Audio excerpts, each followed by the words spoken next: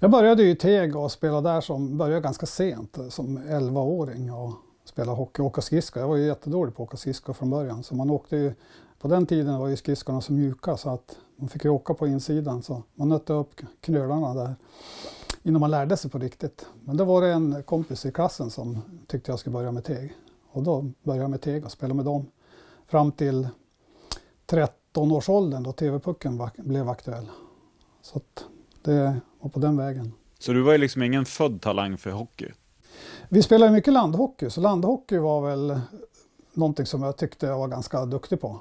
Vi, vi samlades ju killarna på kvällarna och spelade utanför skolan och försökte tända lyserna där och, och eh, spelade tills de slocknade och föräldrarna ropade att man ska komma hem.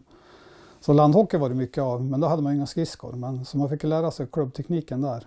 Eh, nej, men jag gick över då, jag tror jag var 13-14 år, strax innan TV-pucken då. Och det, det blir 70-71. Mm.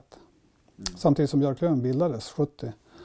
Så gick jag över och så spelade jag med, med eh, TV-puck, eller Björklövens juniorer, eller B-pojkar, vad det nu kallas på den tiden.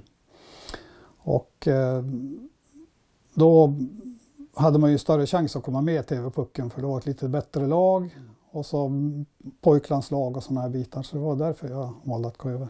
Ja, här har vi en gammal tröja från, som vi i laget kallar Interflora-tiden. Den är i början på 80-talet då vi hade sponsring av V65 som ATG sponsrade både Tre Kronor. Jag var med i, i några samlingar som man hade där under början av 80-talet. Man träffades i Stockholm två dagar i veckan och tränade måndag, tisdag och sen hade man matcher däremellan.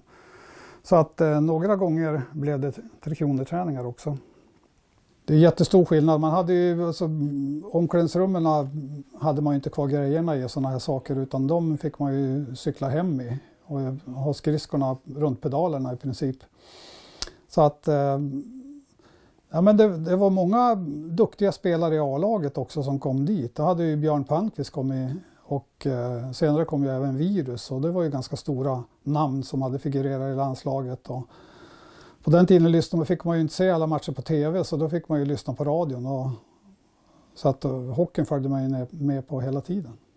Det här är enda tröjan jag har kvar som är min egen, som jag har spelat i.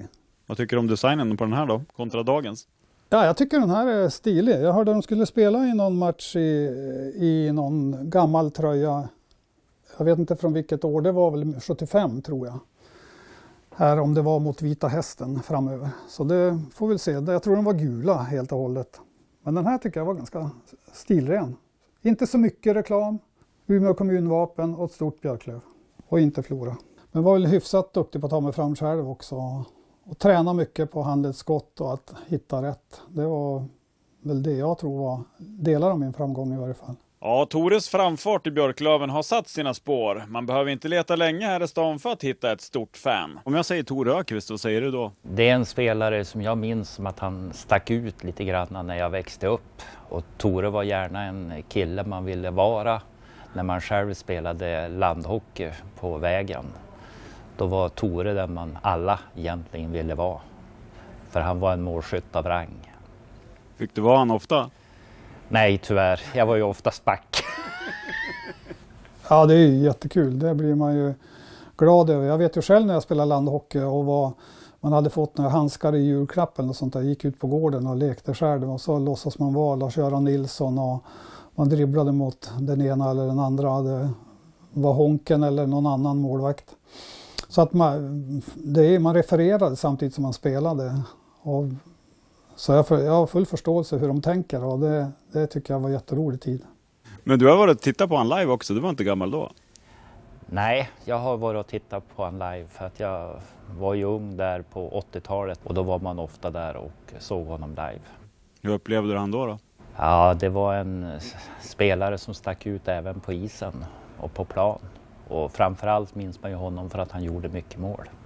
Ja, det blev ganska många mål i karriären. Jag hade ju många duktiga lagspelare och framspelare. Och jag har läst någonstans att, eh, att jag var den enda som hade gjort fem mål, två, ja. två matcher tror jag det är. Eller, ja, jag vet inte om det är slaget än. Det var mot Södertälje en match och mot HV en match som lyckades peta in fem baljor. Och sen efter några år då blev det Luleå. Ja, var det 84-85 så blev det Luleå ett år.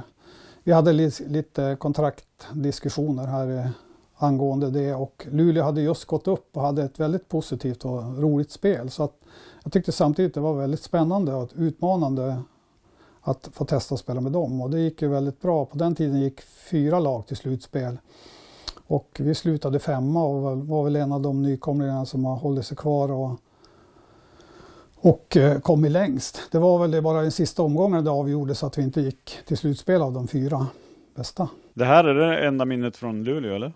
Jag har några tavlor. Jag fick eh, både från sponsorklubben och så fick jag från Aftonbladet Spelarbörsen eh, som jag lyckades vinna där. De hade ju någon tävling varje år som kallades Spelarbörsen som omfattade alla spelare i elitserien.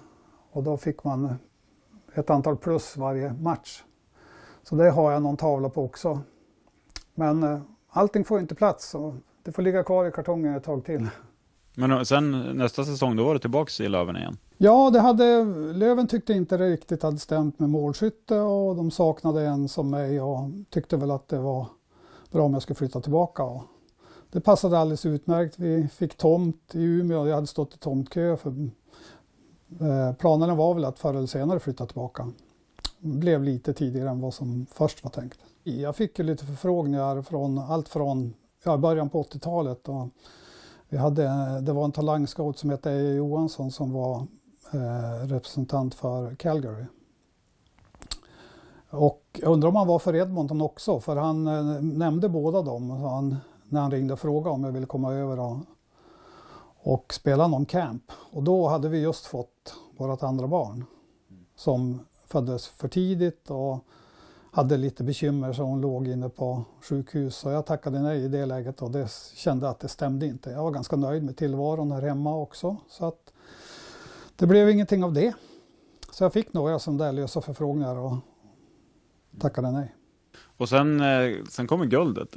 Ja, vi hade väl eh, haft ett jättebra lag under 80-talet och inte lyckats nå ända fram förrän då 87 när guldet kom och det var en fantastisk period när laget, vi hade ju bara landslagsspelare så att eh, det var ju bara att öppna båsdörren så klev det ut fem landslagsspelare på isen. Och även om man inte spelar i A-laget så spelar man i Vikingarna eller vi hade ju Ulf Dahlén och Kalle Johansson som hade varit med i juniorlandslaget också så att vi hade väldigt bra lag, allt från målvakt till sista forward. Här har vi guldlaget som har både autograferna och eh, inravan. Den här hade jag vet jag tror det är föreningen som gjorde den här som vi fick varje spelare.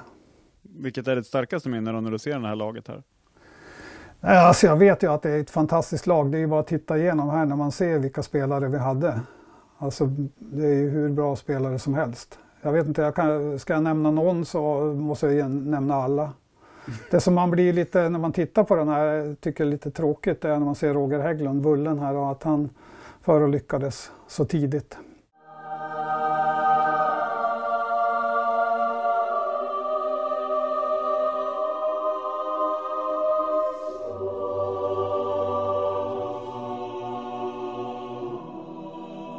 Det måste vara stort värde på. Ja, jag vet inte om det är så stort värde. Det kanske är samlare som tycker att det är stort värde i den. Jag, ja visst är det trevligt att ha en men det är ingen jag använder. Den fick sin plats här och den står där och har man hit några kompisar någon gång och man tar någon bastu, vilket man kunde göra för några år sedan när det inte var pandemin, så vart det väl lite diskussioner om någon skulle prova den och så vidare. En gammal klassisk Jofa-hjälm. Sen har vi autograferna på samtliga där från guldlaget. Den vet jag inte heller om den har något större värde. För mig är den rätt kul att ha, komma ihåg emellanåt. Jag har några hockeyspelsfigurer som jag har fått skickade av eh, någon som var intresserad. Så han har målat av mig på den gamla adressen, här Valmet står det på tröjan där. Den där tröjan eh, har jag aldrig haft, för den tror jag, det var Lynx-tiden och den var efter min karriär. Jag hade ju lite problem med en ljumske så att första matchen jag spelade, mm, finalen, det spelade vi i Karlstad och jag tror vi förlorade med 2-1. Och eh, jag gjorde ett kraftigt ryck där. Jag tror att det var när jag gjorde, om jag gjorde 1-0 eller 1-1, så kände jag hur det brände till. Så jag hade lite problem då och försökte kyla och, och så vidare. Och sen inför andra matchen hemma så tog jag en, en spruta. Och eh, första bytet då i den matchen så slet jag av senan ännu mer så att då blev det operation och blev väl inte riktigt bra efter operationen så jag, jag kämpade på det året men spelade lite sporadiskt, kunde nästan inte träna utan det blev mest bara matcher och eh, fick stå över några matcher nu och då för att jag hade så mycket problem. Så då bestämde jag mig för att lägga av för jag tycker att man ska ha ett liv efter hockeyn också. Och tröjan hänger i taket i hallen. Ja, jag fick vara med om det också. På den tiden var det kanske, hade det inte haussats upp lika mycket när de hissade upp min tröja. Men visst, det känns lite speciellt att den hänger i taket. I taket där den här säsongen har gått lite som en berg och dalbana. Ja, det har ju varit lite upp och ner och lite mm, alla möjliga olika saker. Allt från uppgjorda matcher och, och sen en hel del skador. Men de har ju ändå levererat någorlunda får man ju säga. Sen är det ju det vi tror att vi har ganska höga krav just nu. Så att det är klart, får de ihop det och, och får det att stämma, då kan de ju gå ganska långt. Men det, det vet man ju själv sen den tid man spelar. Vi trodde vi skulle kunna ta guld från 82. Vi fick vänta fem år på det ändå innan vi, även om vi gick till finaler och semifinaler, många år av dem. Så det är svårt att nå hela vägen. Man ska lyckas och det ska stämma sista matcherna framför allt. Då. Ja, det är de som är viktigast. Ja, det gäller att vinna sista matchen. Förra säsongen då, som var helt magisk. Ja, den var ju jättetrevlig. Då hade de ju härligt flow hela tiden och det är det som man, många förväntar sig att de ska komma tillbaka till. Men eh, man vet ju att det blir lite grus i maskineriet. Sen, många andra lag har ju satsat. Jag tycker de har blivit bättre Alltså typ Timrå har ju blivit bättre och även Södertälje och AIK har ju fått till det nu så att nej, ingenting är ju klart förrän sista pucken är spelad. Ja, här i bastun hittar vi en klubba och lite handdukar. Ja, det här är en klassisk Torsbo som eh, inte helt igenom trä. Det är lite glasfiber i den. Den, eh, den första var rent igenom trä. Här är, men det är i princip en träklubba det här.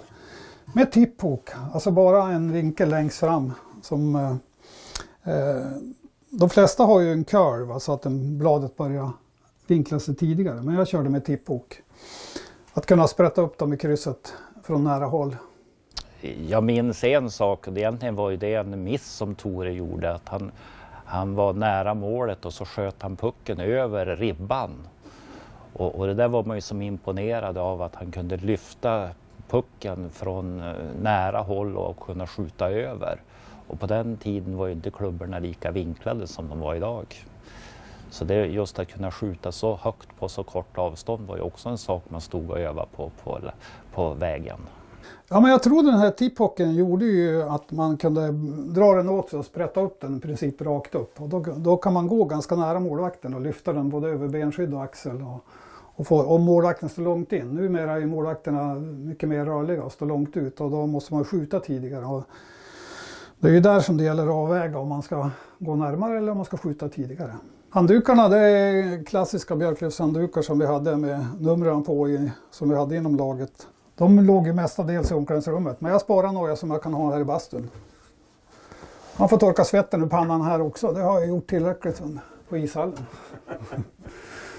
Sen har jag en liten hemlighet här då som jag avslöjar att den här den tippoken den gick ju då rätt upp i krysset. Så här har jag satt pucken i krysset.